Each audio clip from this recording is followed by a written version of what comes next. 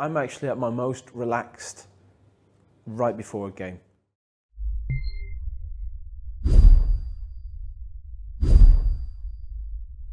It's more the week leading up to it. When I actually get to the game, all I want to do, I want to just get out, get out, do my warm. I want to get out on the pitch. I want to see the pitch. want to feel the conditions, the weather, the ball. You know how how my goal mouth is, is, is you know all these kind of things. I want to that I just want to get out and do that. And then when I come back in to get changed to go out to the game, that's because I come in early. I come in half an hour before the game, so I've got nobody in the dressing room, and I can just relax. No music blaring, no nothing. Just just get get my, my, my clothes on, and, and I'm I'm pretty relaxed in that in that moment. But the week leading up to that's you know intense hard work. Um, and uh, you know, you're working on details regarding who you're coming up against. You know, all the training's filmed, so I'll go back every evening, I'll watch the, the day's training session, I'll look for little details and you know, I've got constant evolving goals and things I want to keep improving on, keep things I want to change.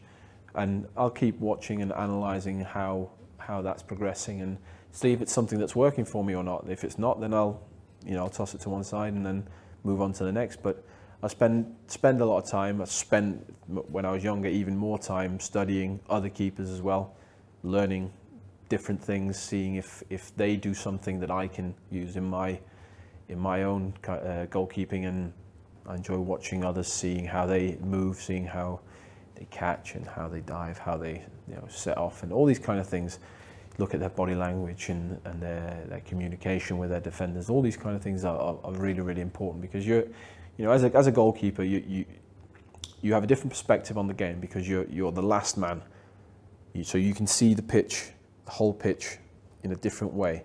You're not in the thick of the action. Sometimes when you're in the thick of the action, you, you can get, you know, you can wrap, wrapped up in the emotion of the game and you can't maybe keep a clear head as a keeper. It's your job to keep a clean, clear head. And you're essentially a coach and manager in that situation because you're guiding. The, the games that are the best are the ones where you don't have a lot to do because that's when you've got your de defense working and, and everything's just working really well. So I, for me, that's a more successful game when I don't have anything to do. That's a much more successful game than one if I'm making saves left, right, and centre, because then obviously there's something wrong with with with the with the communication. So you've you've got to be a you've got to be a manager in in that sense because you've got different people in front of you, different personalities, and you've got to you've got to know how to talk to people. So I know that with Danny Simpson, I can say one thing. With Wes, I say another thing. With Harry or Robert Huth, I say a third thing with Ben Chilwell, or Christian Fuchs. You know, I, I speak to them all in different ways, and that comes with learning their personalities through the years, playing with them, being off the pitch with them, what type of people they are, how can I say, because you've got a very short time to get your message across.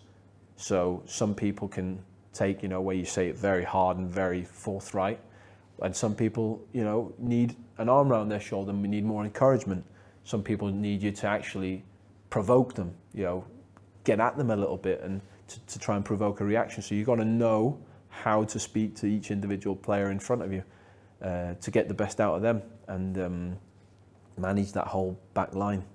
Training is a lot harder than, than, than the actual game physically, but mentally that, it, that is the, the time where after a game, you know, your head's pounding, your head's buzzing and, and it, it does take a long time afterwards to get to sleep. For example, I can't, after a game, I, you know, I won't sleep till three or four in the morning, you know, because I just, I just can't find peace in my body. So, uh, so yeah, that kind of, that aspect of it is, is obviously, uh, it takes its toll.